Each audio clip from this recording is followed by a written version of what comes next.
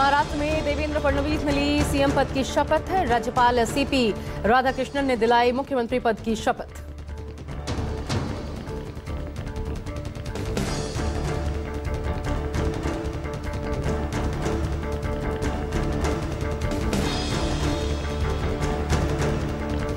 देवेंद्र फडणवीस के साथ एकनाथ शिंदे ने भी ली मंत्री पद की शपथ। मुख्यमंत्री के बाद उप मुख्यमंत्री का पदभार संभालेंगे। एकनाथ शिंदे।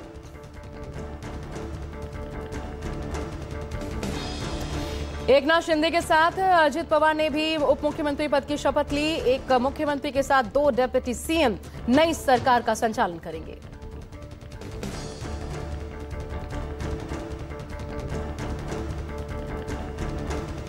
शिंदे महाराष्ट्र के दूसरे ऐसे नेता हैं जो सीएम के बाद डेप्यूटी सीएम बने हैं। शिंदे की सरकार में फडणवीस डेप्यूटी सीएम बने थे।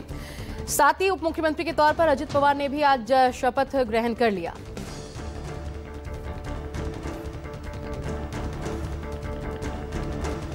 फडणवीस सरकार के शपथ ग्रहण समारोह में प्रधानमंत्री मोदी, गृहमंत्री अमित शाह, यूपी के मुख्यमंत्री योगी आदित्यनाथ समेत कई मुख्यमंत्री और केंद्रीय मंत्री मौजूद रहे।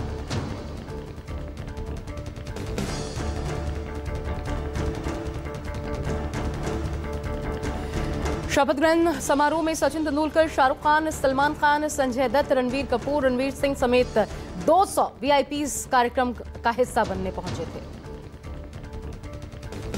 आज़ाद मैदान में हुए महावती के शपथ ग्रहण कार्यक्रम में बिज़नेस जगत की दिग्गज हस्तियाँ मौजूद रहीं। आदित्य बिरला ग्रुप के चेयरमैन कुमार मंगलम बिरला, अदानी अंबानी भी मौजूद रहे। मुख्यमंत्री बनते ही एक्शन में देवेंद्र फडणवीस मंत्रालय पहुंचकर कैबिनेट की पहली बैठक की। कैबिनेट बैठक में फडणवीस ने पुणे के एक मरीज़ के लिए पाँच लाख मदद का फैसला लिया।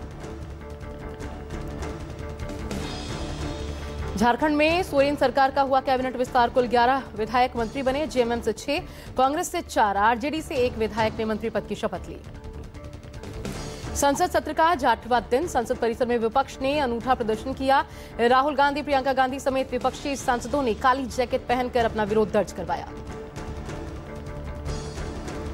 जगदम्बिका पाल का राहुल गांधी पर हमला, कहा राहुल नहीं करते संसदीय परंपरा की परवाह। जनता उन्हें जिताकर पछता रही होगी, संसद की कार्यवाही छोड़कर सड़क पर हंगामा करते हैं। संभल हिंसा पर सियासी बयानबाजी तेज, योगी आदित्यनाथ ने कहा, बांग्लादेश और संभल की घटना एक जैसी। दोनों घटनाओं में शामिल लोगों का डीएनए एक है। योगी आदित्यनाथ के डीएनए वाले बयान पर अखिलेश यादव का पलटवार। बोले, मुख्यमंत्री जी, अगर डीएनए की बात करते हैं तो मैं अपना डीएनए चेक करवाने पहुँचता हूँ। लेकिन, मुख्यमंत्री जी, आप भी अपना डीएनए चेक करवाइए। एक मुख्यमंत्री होकर, संत होकर उन्हें इस तरह की बात नहीं करनी चाहिए। 9 दिसंबर को पानीपत जाएँगे पीएम मोदी। एलआईसी की बीमा सखी योजना की करेंगे शुरुआत और रैली को संबोधित करेंगे। पीएम मोदी के कार्यक्रम में पचास हज़ार से ज़्यादा महिलाएँ शामिल होंगी। संगम नगरी प्रयागराज में 13 जनवरी से शुरू हो रहे आस्था के महापर्व, महाकुंभ 2025 को लेकर योगी सरकार की तैयारियाँ जोरों पर। योगी सरकार के मंत्री अलग अलग राज्यों में बांटेंगे महाकुंभ का न्योता।